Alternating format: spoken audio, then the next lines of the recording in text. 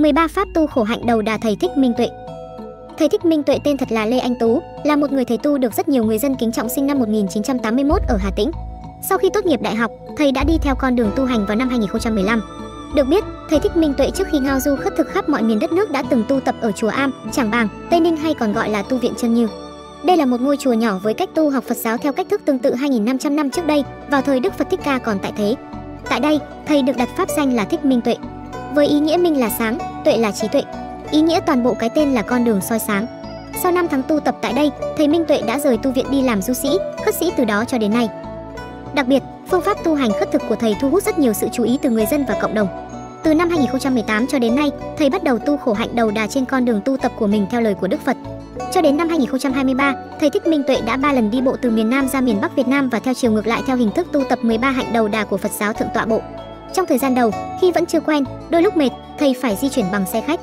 Tuy nhiên từ năm 2024 cho đến nay, thầy đã thực hiện bộ hành tuyệt đối và chỉ di chuyển bằng đò khi phải qua sông. Và những bước chân của thầy đã đặt dấu ấn gần như toàn bộ lãnh thổ Việt Nam, trừ một số tỉnh phía Nam không nằm trên trục đường chính. Một nét đặc trưng khác ở thầy Minh Tuệ so với các nhà tu tập khác, đó chính là không tự xưng mình bằng thầy như một nhà sư bình thường hay xưng tôi khi giao tiếp với người khác mà chỉ xưng con. Điều này theo giải thích của thầy được cho là mang tinh thần của triết lý vô ngã. Phương pháp tu hành khất thực của thầy Thích Minh Tuệ thực sự đặc biệt và thu hút nhiều sự chú ý từ người dân và cộng đồng. Sự kiên trì và tinh thần vô ngã của thầy không chỉ là một hành trình tu tập cá nhân mà còn là một nguồn cảm hứng lớn lao cho nhiều người. Thầy đã không ngừng nỗ lực để sống đúng với tinh thần và triết lý của Đức Phật, mang lại nhiều giá trị tinh thần cho cộng đồng. Thầy Thích Minh Tuệ không chỉ được mọi người kính trọng vì những hành động khổ hạnh gợi nhớ hình ảnh của Đức Phật và tăng đoàn, mà còn vì những hành trình đi bộ dài hàng ngàn cây số từ Nam ra Bắc rồi ngược lại. Những hành trình này đã ghi dấu ấn sâu đậm trong cộng đồng tin Phật và thu hút sự chú ý của rất nhiều Phật tử đi theo. Đặc biệt, việc thầy tu 13 hạnh đầu đà khổ hạnh một pháp tu hành cực khổ và gian nan càng khiến thầy trở thành nguồn cảm hứng lớn lao cho nhiều người. Vậy hạnh đầu đà là gì? 13 pháp tu gồm những pháp nào?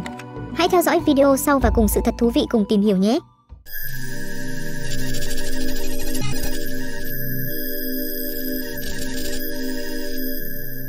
Hạnh đầu đà là gì? Pháp hạnh đầu đà là một trong những phương pháp tu khổ hạnh để tôi luyện thân tâm, từ đó trừ bỏ phiền não và cấu trần. Theo ghi chép, khi Đức Phật Thích Ca Mâu Ni lúc bấy giờ là thái tử Tất Đạt Đa đi qua bốn cửa thành, ngài đã phát hiện bốn sự thật của cuộc đời. Để từ đó, ngài đã phát tâm dũng mãnh, dứt bỏ hồng trần để xuất gia, tâm sư học đạo với mục đích cứu khổ cứu nạn muôn loài. Sau một thời gian thực hành tất cả các pháp tu khổ hạnh theo quan điểm phổ biến lúc bấy giờ, Đức Phật đã nhận thức rằng khổ hạnh cực đoan không mang lại kết quả gì đáng kể. Hành động này chỉ làm tổn hại cơ thể mà không dẫn đến sự giác ngộ hay giải thoát tâm linh. Để đạt được thành tựu trên con đường dẫn đến vô thượng Bồ đề, cần phải theo con đường trung đạo, không rơi vào khổ hạnh thái quá cũng như không sống trong sự hưởng thụ thái quá.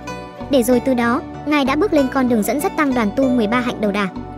Sau khi giác ngộ, trên bước đường hoàng hóa, Đức Thế Tôn vẫn nêu cao lập trường trung đạo. Bởi chúng ta đều biết, đạo Phật là trung đạo và Đức Phật cùng nhờ tránh xa hai cực đoan khổ hạnh và dục lạc từ đó mới thành tựu đạo quả. Mặc dù thế, Thế Tôn vẫn khen ngợi những ai kham nhẫn được với sự thanh bần, thực hành hạnh đầu đà đến trọn đời. Trong số đó, nổi bật là Tôn giả Đại Ca Diếp. Tôn giả Đại Ca Diếp là vị đại đệ tử của Đức Phật, luôn tinh tấn tu tập và đã trở thành một người gương mẫu với phẩm hạnh đầu đà cao quý trong giáo đoàn nhà Phật. Đặc biệt, việc tu tập hạnh đầu đà của Tôn giả Đại Ca Diếp còn được Đức Phật hết lời tán thán bởi ngài đã chọn đời giữ hạnh đầu đà.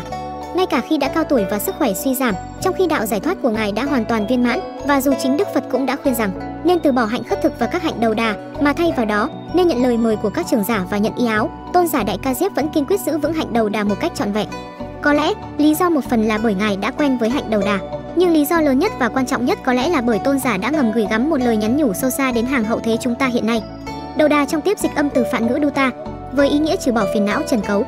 Đầu đà cũng được gọi là hạnh đầu đà bởi đây cũng là một trong những pháp tu khổ hạnh, với mục đích cốt để tôi luyện thân tâm qua việc diệt trừ lòng tham trước đối với ba vấn đề thiết yếu của đời sống hàng ngày của con người. Đó là cơm nước, áo quần và chỗ ở. Chư vị tỳ kheo nghe theo Phật dạy, cũng vui vẻ vâng theo tu tập hạnh đầu đà, từ đó còn được gọi là chư vị đầu đà. Người tu tập hạnh đầu đà hàng ngày phải chấp hành đủ 13 điều quy định, tương ứng 13 hạnh đầu đà. Những hạnh này là phương pháp đáp biệt hữu hiệu để Phật tử tu hành, giữ gìn sự thanh tịnh của tâm hồn, để từ đó tiến gần hơn đến giải thoát con người. 13 hạnh đầu đà gồm: 1. Hạnh phấn tảo y, hạnh này có tác dụng giúp người tu buông bỏ sự kiêu hãnh về ngoại hình, vẻ bề ngoài để từ đó tập trung vào nội tâm bản thân qua việc sử dụng y phục làm từ vải vụn, không phải là vải hay những chất liệu mới mẻ hay đắt tiền. Điều đó có nghĩa là nếu vị tu sĩ nguyện thực hành pháp đầu đà này, vị đó phải không chấp nhận y phục được dâng cúng từ tại gia. Thay vào đó là phải lượng nhặt các nguyên liệu, vải vụn để tự làm y phục cho chính mình, đó có thể là vải từ nghĩa trang, vải rơi ven đường. 2. Hạnh tam y, cũng như tên gọi, hạnh này người tu sĩ chỉ được sở hữu 3 y, không có thêm y phục nào khác. Ba y đó là y nội, antaravsaka, y mặc bên trong, giống như quần lót hoặc y dưới. y vai trái, Uttasaga, y quấn quanh thân trên, thường để chống vai phải. Y này dùng trong các dịp lễ, khi giảng pháp hoặc khất thực. Y tăng già lê, xăm, y ngoài cùng, có thể sử dụng như một tấm chăn hoặc áo choàng khi trời lạnh. Hạnh này có tác dụng giúp tu sĩ giảm bớt lòng tham ái và sự phụ thuộc vào vật chất. Bằng việc giới hạn số lượng y phục, tu sĩ học cách sống đơn giản, tiết chế nhu cầu cá nhân và tập trung hơn vào việc tu hành và phát triển tâm linh. Hạnh tam y cũng giúp tu sĩ rèn luyện sự kiên định, tự giác và lòng tự trọng, tránh xa các yếu tố xa hoa, vật chất và từ đó tiến gần hơn đến sự giải thoát. 3. Hạnh khất thực, hạnh khất thực là hạnh giúp cho tu sĩ rèn luyện được đức tính khiêm nhường và tinh thần từ bỏ của cải. Vật chất từ việc đi khất thực để nuôi sống bản thân, không ở lại lâu ở một nơi và phải đi khất thực hàng ngày. Tu sĩ đó phải không được nhận lời mời thọ thực nào cả, có 14 loại thực phẩm không được phép nhận. Tu sĩ phải từ chối 14 loại thực phẩm sau, được coi là không phù hợp với pháp tu khất thực. Thứ nhất là rượu, bao gồm tất cả các loại đồ uống có chứa cồn. Thứ hai là mật ong, do mật ong được coi là một loại thực phẩm đắt tiền và khó thu được. Thứ ba là sữa, đặc biệt là sữa từ động vật, vì nó có thể gây lệ thuộc vào nguồn cung cấp động vật. Thứ tư là thịt, bao gồm tất cả các loại thịt động vật. Thứ năm là đồ ăn từ gia súc như thịt bò, lợn, gà, được loại trừ để tránh làm tổn hại đến động vật. Thứ sáu là thức ăn chế biến công phu, thực phẩm có chứa nhiều gia vị hoặc chế biến phức tạp. Thứ bảy là đồ ăn đã được chế biến với chất phụ gia hoặc gia vị để tránh gây nghiện hoặc tạo sự thèm muốn. Thứ 8 là thực phẩm có giá trị cao, những thực phẩm đắt tiền hoặc quý hiếm. Thứ 9 là đồ ăn từ cá, không bao gồm thức ăn từ các loại động vật dưới nước. Thứ 10 là thức ăn đã được bảo quản lâu dài để tránh việc dự trữ thực phẩm. Thứ 11 là thực phẩm có chứa các chất độc hại nhằm bảo vệ sức khỏe. Thứ 12 là thực phẩm từ các món ăn hoặc đồ uống đã bị cấm, ví dụ như các món ăn bị coi là không phù hợp theo quy định của các tu sĩ. Thứ 13 là thực phẩm có chất kích thích, những thực phẩm có tác dụng làm thay đổi trạng thái tinh thần. Thứ 14 là đồ ăn được chế biến từ các loài động vật nguy hiểm hoặc quý hiếm để bảo vệ động vật và duy trì sự thanh tịnh trong việc tiêu thụ thực phẩm. 4. Hạnh khất thực từng nhà, hạnh này góp phần giúp tâm hồn không bị gắn bó với một nơi trốn hay một con người nào cụ thể.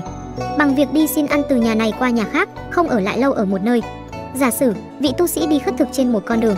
Nếu con đường đó có 5 căn hộ, vị đó phải dừng lại trước cả 5 căn. Đặc biệt phải dừng lại trước từng căn, không được bỏ qua căn hộ nào để đi đến căn hộ tiếp theo. Không vì chọn gia chủ giàu sang mà bỏ những gia đình nghèo khổ, không tới nơi có nhiều đồ ăn ngon và phải khất thực tuần tự. Đây mới chính là ý nghĩa của cụm từ khất thực từng nhà. 5. Hạnh nhất tọa thực, hạnh này giúp cho tu sĩ kiểm soát được bản thân và giảm bớt sự tham ăn tham uống, nâng cao tinh thần khổ hạnh bằng việc chỉ ăn một lần trong ngày mà không ăn thêm một bữa nào khác. Tu sĩ phải thực hiện việc ăn uống chỉ một lần trong ngày, thường vào buổi sáng hoặc trước giờ ngọ, nếu đã đứng dậy thì sẽ không ăn nữa. Sau khi ăn xong, dù có đói hay có người dâng thêm thực phẩm, tu sĩ không được ăn thêm bất kỳ món ăn nào trong suốt phần còn lại của ngày. 6. Hạnh ăn bằng bát, hạnh này tượng trưng cho sự giản dị và không lệ thuộc vào những tiện nghi không cần thiết của tu sĩ. Những vị tu hạnh này sẽ chỉ dùng một bát để đựng thức ăn và uống nước, không sử dụng nhiều bát, đĩa hay các dụng cụ ăn uống khác không cần thiết. 7. Hạnh không để dành đồ ăn, hạnh này đề cập đến việc tu sĩ phải ăn hết toàn bộ thức ăn đã nhận trong mỗi bữa ăn. Không được giữ lại đồ ăn để dùng cho bữa ăn tiếp theo hoặc để bảo quản cho sau này. Điều đó giúp tu sĩ rèn luyện tính kỷ luật và không chấp giữ, giúp họ sống trong sự thanh tịnh và từ bỏ. 8. Hạnh ở rừng, hạnh này giúp tu sĩ thoát khỏi những phiền não và giúp tâm trí tu sĩ được giải phóng khỏi cuộc sống đô thị phiền muộn. Người tu sĩ sẽ chỉ sống trong rừng, xa lánh thế gian để tập trung vào việc tu tập. Môi trường yên tĩnh và gần gũi với thiên nhiên giúp tăng cường khả năng tập trung và thiền định. Tu sĩ có thể dễ dàng duy trì sự thanh tịnh và tập trung vào các pháp hành. Mọi người tụ tập quá đông, thầy phải đi vào rừng sâu tu tập. Chỉ khi đi khất thực thầy lại về với chúng ta. 9. Hạnh ở gốc cây, tu tập hạnh này giúp người tu sĩ giảm thiểu được sự sở hữu vật chất và sống gần gũi, hòa nhập với thiên nhiên. Họ sẽ chỉ ở dưới gốc cây mà không xây dựng nhà cửa. Tu sĩ phải học cách chịu đựng các điều kiện thời tiết và môi trường tự nhiên. Việc sống dưới gốc cây yêu cầu sự kiên nhẫn và khả năng thích nghi với các yếu tố bên ngoài như mưa, nắng, gió và côn trùng. 10. Hạnh ở giữa trời, người tu sĩ thực hành hạnh này sẽ tăng cường được tinh thần chịu khó, chịu khổ qua việc từ bỏ sự tiện nghi vật chất. Họ sẽ sống ở nơi không có mái che, hoàn toàn tiếp xúc với bầu trời, sống ở giữa trời để rèn luyện đức tính kiên nhẫn và khả năng chịu đựng của bản thân. Họ không được sử dụng bất kỳ loại lều, mái che hay các công trình bảo vệ khỏi thời tiết. Và thầy luôn ở giữa đất trời tu tập, giải tâm từ đến khắp trung sinh. 11. Hạnh ở nghĩa địa, khi tu tập hạnh này, nghĩa địa sẽ là nơi để các vị tu sĩ thiền định và nhận thức về sự vô thường của cuộc sống sinh tử. Nghĩa địa là biểu tượng rõ ràng của sự kết thúc và sự thay đổi không ngừng, giúp tu sĩ nhìn nhận rằng cuộc sống và mọi sự vật đều không bền vững. Để từ đó, họ sẽ nhận thức rõ được bản chất của sinh tử và không còn sợ hãi trước cái chết nữa. Thầy Minh Tuệ thường ở nghĩa địa trong quá trình đi từ Bắc vào Nam, thực hành hạnh này để củng cố sự nhận thức về vô thường và rèn luyện tinh thần kiên định. 12. Hạnh nghỉ chỗ nào cũng xong, đúng như tên gọi, khi tu tập, người tu sĩ sẽ không có chỗ nghỉ ngơi cụ thể. Thay vào đó, họ ngủ ở bất cứ chỗ nào, từ những nơi tạm bợ như dưới gốc cây, trên đất hoặc bất kỳ chỗ nào mà họ tìm thấy trong hành trình của mình. Để từ đó, giúp họ buông bỏ sự gắn bó với một nơi trốn cụ thể và rèn luyện tính linh hoạt. Trên đường tu tập của mình, thầy Minh Tuệ cũng thực hành hạnh này, nghỉ ngơi ở bất kỳ nơi nào, lúc thì ở ven đường, lúc thì ở nhà hoang, lúc thì ở trong rừng. 13. Hạnh ngồi, đây là hạnh cuối cùng trong 13 hạnh đầu đà. Đúng như tên gọi, khi thực hành đạo này, người tu sĩ sẽ chỉ ngồi và không nằm xuống, ngay cả khi ngủ nghỉ, họ cũng phải duy trì tư thế ngồi. Từ đó, họ sẽ rèn luyện được tính kỷ luật và sự kiên định trong việc tu tập. Trong nhiều lần dõi theo thầy Minh Tuệ, chúng ta cũng biết rằng thầy đã hành trì hạnh ngủ ngồi trong suốt thời gian từ khi bắt đầu tu tập. Thầy đã không bao giờ nằm nghỉ ngơi như chúng ta nữa. Đây quả thực là một hạnh khó cho tất cả chúng ta. Thầy Minh Tuệ đã từng chia sẻ, cái công đức của mình, công đức của mình, nó đi theo mình biết, con biết được cái đấy không ai tước đoạt được cả. Thì con, càng ngày con đi như thế này, con cũng cố gắng con bòn mót công đức.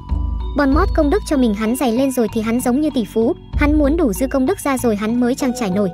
Chứ mình được chút thế này thì mất hết rồi còn đâu. Qua tìm hiểu kỹ về 13 hạnh đầu đà, chúng ta mới có thể hiểu lý do tại sao thầy Thích Minh Tuệ lại được đông đảo Phật tử cung kính, khiêm nhường đến như vậy.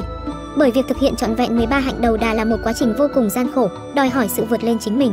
Và mỗi hạnh đầu đà này đều mang một ý nghĩa sâu sắc trong việc rèn luyện tâm hồn và giúp người tu hành buông bỏ những ràng buộc thế gian. Bạn thấy video này có hay không ạ? Nếu thấy hay thì hãy like video và nhấn vào nút đăng ký kênh, sau đó chia sẻ video này để nhiều người biết đến nó hơn nhé. Hãy đón xem những video tiếp theo và chào tạm biệt nhé. Chúc bạn một ngày tốt lành.